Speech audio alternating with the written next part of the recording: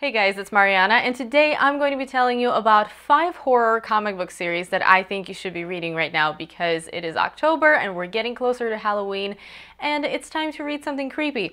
I will not be talking about The Walking Dead in this video just because it's a little bit too obvious. I mean, zombies, Halloween, if you want to read about zombies, read The Walking Dead kind of something that goes without saying, but I do have some other recommendations that I think you guys would enjoy. A bit of a disclaimer before I get into this, all five of these comic book series are classified as for mature readers. If that's something that's a factor for you just wanted to let you know because there is language and TNA and of course graphic violence and disturbing imagery involved. So these are not for kids keep that in mind. Now onto the comics. The first comic book series that I want to recommend is of course Locke and Key, written by Joe Hill and illustrated by Gabriel Rodriguez. And I have talked about it on my channel before. I have a full review of the entire series because this is a series that has completed at this point. So you do have the entire story available, which is awesome because you don't have to wait for more issues like with everything else that I'm about to talk about.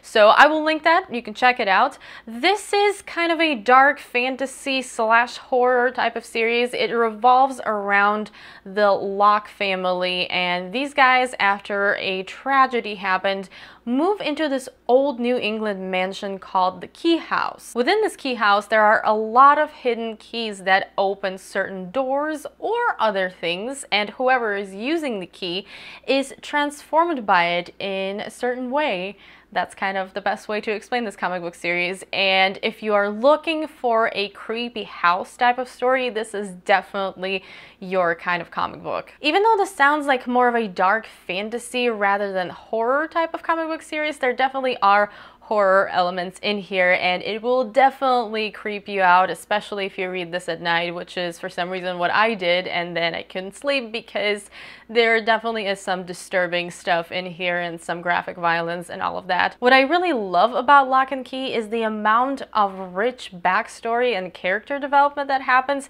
everything gets slowly revealed more so towards the end, but you definitely get the entire picture and the world that this exists in is just fascinating and all of the twists and the fantasy elements are just super, super interesting. The art fits the story perfectly. It is detailed.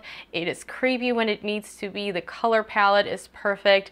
Generally, if you're looking to start somewhere with horror comics, but you're not really sure what kind of horror you like, I think Locke and Key is a perfect place to start. The next comic book series that I want to talk about is Revival, and this is one of my more recent reads. If you follow me on Goodreads, you probably saw me reading this. This is written by Tim Seeley and illustrated by Mike Norton, and this is something that's classified as rural noir, which is not a genre I have ever seen in my entire life, but apparently it's a thing, and it is pretty freaking cool. Out of all the comic books that I'm talking about today, this one definitely has the biggest WTF factor to it because I have read three volumes so far and I still have no idea what the deal is and where is this going. Revival is set in a town in rural Wisconsin and one day the dead people in that area start coming back to life and that's known as the Revival Day. What's cool about this comic book series though is that it's not about zombies or ghouls or anything like that. These are not undead as we usually think of them, but they just kind of come back as normal people, seemingly just as they were before, and that's kind of an interesting approach. What's also cool about this comic book series is that you don't just get this supernatural story going on, but you also get the religious angle and you also get the way media treats it and you get the politics and how government reacts to this whole situation. Something that I do have to warn you about though is that there are a ton of characters here. There are a couple main characters that this is mostly focused on, but there are a lot of side characters that have names and are important to the story and In the beginning, you kind of have to get used to this comic book series skipping around a lot, but then you kind of get used to all these people, so it's fine. But that's just something to be aware of if you start reading this and you start getting overwhelmed. The art style here is pretty standard comic book art style, or at least what I would consider standard comic book art style. It looks good, I really like it, but then also when it gets to more graphic and disturbing images, it even makes it creepier because it's not particularly a strange and unusual art style. It kind of almost clashes, but in a good way. Like I said, I really like it. The next comic book series that I really think you should check out if you haven't already is American Vampire, and this is written by Scott Snyder and illustrated by Rafael Albuquerque, and I can kind of see this not being for everybody out of everything that I'm talking about, this one is probably the biggest candidate of being not for everybody, but I personally love it and I think it's fantastic.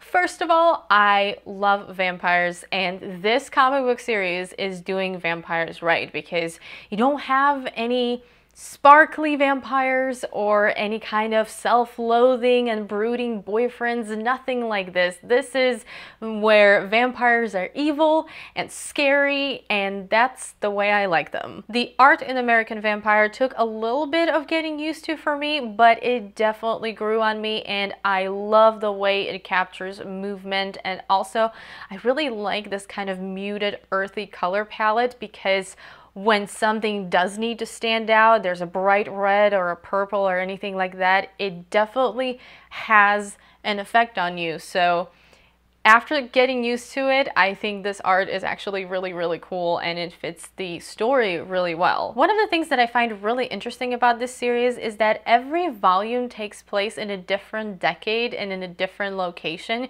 For example, volume one, which by the way is co-written with Stephen King, so that's a bonus. Um, this takes place in 1920s Los Angeles. It kind of flips back a little bit to 1800s to give you a little bit of a backstory on the main character, but for the most part, 1920s LA. Then you have volume two, which takes place in 1930s Las Vegas, and then Volume 3 takes place in 1940s during the war. So as far as I understand, this is something that continues throughout the whole series and it's really cool to see all of these characters kind of change with the times or not change with the times. The other interesting thing is that American Vampire has a lot of different species of vampires. It's not just your generic vampire. You have really ancient vampires, then you have these European vampires that are mostly like humans, or you have vampires that are really feral, and you have shapeshifter vampires. And that's kind of where the title of American Vampire ties in because one of the main characters Skinner Sweet is the beginning of this new breed of vampires from America. He is this outlaw from the Wild West and he has this weird ability that other vampires don't have and the other people and other vampires don't really know how to deal with him. Basically what I'm saying is if you're tired of the modern boyfriend type vampires, you should really read this because this is where the good vampires are, and by good I mean terrifying. Next, I want to talk about Wytches, and I did mention it briefly in my September wrap-up, but I do want to talk about it in a little bit more detail right now. And this is also written by Scott Snyder, like American Vampire, because I am kind of becoming a Scott Snyder fangirl. And this is illustrated by Jock, and the art is one of the main reasons that I really love this comic book series. Now, I don't normally go around recommending comics after reading just one volume because things can change the art can change, the story direction can change, and usually you can't really judge a comic book series just on one volume because it's kind of usually just set up for everything that comes afterwards. But this particular thing is an exception because First of all, this is a complete story arc on its own, and it's also just generally awesome. I fell in love with this series from the first issue back when I started reading it in issue form, and from the first pages, I just knew this was going to be one of my favorites. Wytches revolves around the Rook family, and this family moves to a new town because their daughter, Sailor, was involved in this incident that had to do with a vicious bully in school. So they're kind of just looking for a fresh start, particularly for Sailor. What they don't know is that the town that they moved to has some supernatural activity going on in the forest that's next to it and what's happening is that there are witches in this forest. And when we're talking about witches we're not talking about your typical kind of fairy tale witches. We're talking about scary primal creatures that pretty much will fuck you up and if you've been pledged to them you're screwed. Now, like I mentioned, I absolutely love the art style in Wytches. It is not only genuinely creepy and beautifully drawn, but it also uses these really vibrant colors, which I don't normally see in comic books. And it also has this really cool splatter effect. And I know some people find it a bit distracting, but to me, this makes the art even more unique. And there are some pages that I kind of wish I could just frame because they look awesome. You absolutely need to pick this up if you want to read about some scary, scary witches. And last but definitely not least, I have to talk to you about Nailbiter. And you probably remember me talking about this in my wrap-ups, but this is probably one of my favorite, not probably, this is definitely one of my favorite comic book series right now, if not the most favorite. This one is written by Joshua Williamson and illustrated by Mike Henderson, and it definitely has that WTF factor that Revival has. Not quite to the extent of revival, but still, there is a lot in this comic book series that I just have no idea what the hell, but I am extremely intrigued. Nailbiter is set in this small town in Oregon where a bunch of serial killers come from.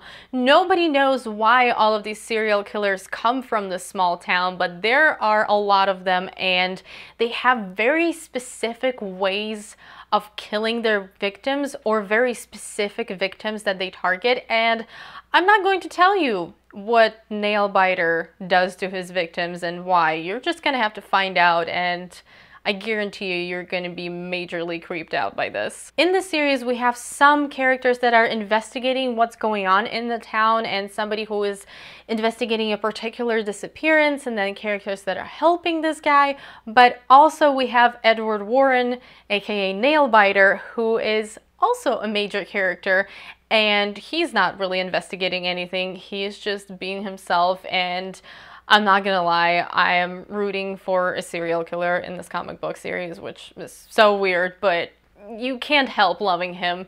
If you've read this series, you understand, and if you haven't read it, you have to read it and then you will understand. There's also quite a bit of dark humor in this, which I didn't expect. And the art here, of course, is great. It is pretty earth-toned, but it does get colorful when it needs to, and it does have a bit of quirkiness to it, which goes perfectly with the tone here. Basically, I can't wait for the next volume to come out. That's it for this video. Let me know if you guys have read any of these comic book series and what did you think of them. And if you have any other awesome horror comic book recommendations, I would love to hear them because I'm always looking for more. I hope you enjoyed the video. Thank you so much for watching. If you did enjoy it, don't forget to give it a thumbs up and also subscribe to my channel if you haven't already. I hope you're having an amazing day and I will see you soon in my next video. Bye!